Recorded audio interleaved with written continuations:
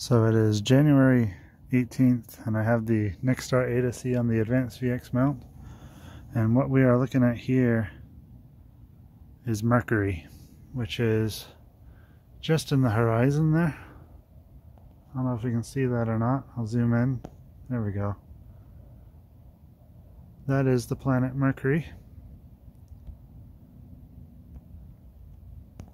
and we're currently looking at it with the 8se. I'm going to try and make an image.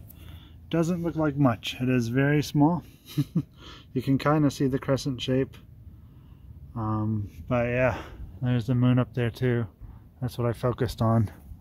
And then I went right over to Mercury there. So uh, we'll see how this turns out. This is the first image I'm going to try and get of Mercury. It's a pretty difficult target to get to because it's always really close to the sun. As you can see, it's in the sunset over there. And it's just pretty low in the horizon. If you don't have a good view towards the sunset, you're going to have a hard time going after Mercury. But I wanted I wanted to mention too that I do have a two times Barlow lens on the scope. And yeah,